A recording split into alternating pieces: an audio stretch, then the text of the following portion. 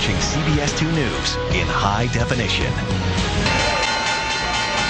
Right now at 5, what a difference a day makes. On Wall Street, a wild swing in the other direction after a huge announcement. And welcome, I'm Maurice Dubois. I'm Dana Tyler in for Kristine Johnson tonight. Our top story, who's got the Dramamine? Wall Street is just now catching its breath. Today's session with enough climbs and dips for an amusement park ride. Things really revved up late this afternoon when the Federal Reserve said low interest rates are here to stay foreseeable. And by the end of the day, the Dow was up more than 400 points. But are we really in the clear. We have team coverage, including an intriguing new poll showing Americans' disgust with the economic situation. But we'll start with CBS 2's John Metaxas live on Wall Street. John?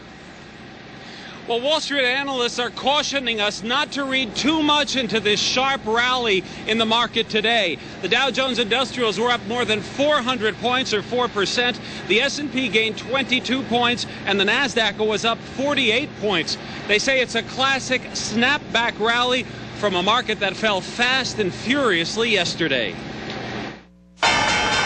It was a turbulent ride from the opening bell. Stocks started sharply higher. Many on Wall Street had expected computerized trading programs to step in after yesterday's dramatic sell off. But the buying dried up almost immediately in the afternoon when the Federal Reserve spoke to the public.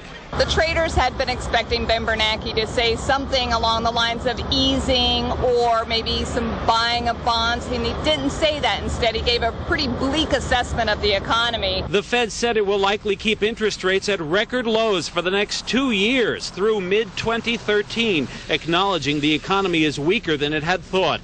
But that disappointment quickly turned and the market moved higher. It's really hard to figure out the direction of the market overall, it seems like it's an oversold rally. It all left many investors just throwing their hands up. I'm just going to go on and deal with the roller coaster as it goes up and down. I mean, there's what can I do? What can I do? Even professionals are not sure when the wild ride will end. It's like a storm. You know, how long does it does the lightning and the wind and all the turbulence last? As long as it does until it stops.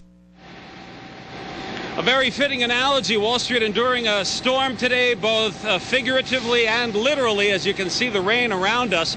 Many concerns in this market from the debt downgrade to fears of a recession in Europe and a double dip here in the United States. It all has many analysts saying the volatility could continue for months.